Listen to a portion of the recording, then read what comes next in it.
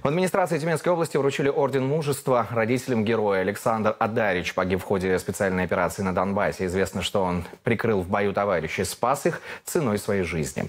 За мужественный поступок Александр награжден орденом посмертно. Молодой человек жил в поселке Вензели. Близкие говорят, что Александр был добрым, открытым, тактичным и честным. После школы он ушел в армию, потом принял решение и дальше служить Отечеству. Александру Адаричу был 21 год.